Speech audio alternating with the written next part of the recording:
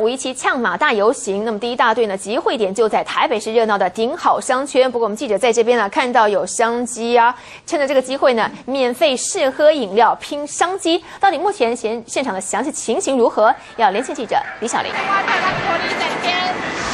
是的，距离游行出发的时间还有一个小时又四十分钟，但是可以看得到，现在人潮是越聚越多。许多业者是看中了这个广告效益哦，像是卖瓶装饮料的厂商哦，也来这里办饮料试喝。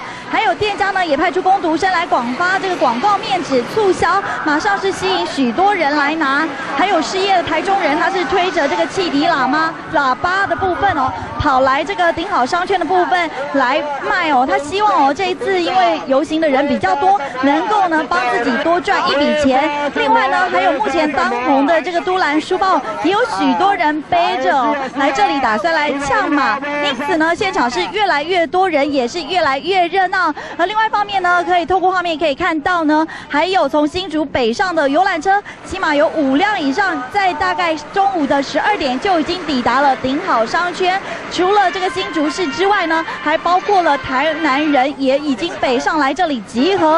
他们希望到时候呢，提早做好准备，一起出发往凯道走。以上是在顶好商圈的最新情形，把镜头交换棚内。